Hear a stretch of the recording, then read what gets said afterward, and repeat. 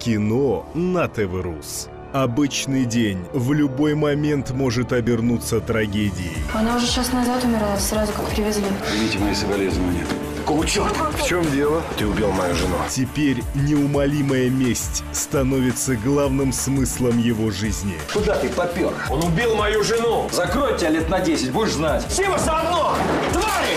А ну в камеру его. Кто-то бездействует, но он вершит правосудие своими руками. Сережа! Что вам от меня нужно? Он не убивал. Он не хотел. Случайно вышло. Только мне от этого не легче. Те, кто причинили боль, должны заплатить очень дорого.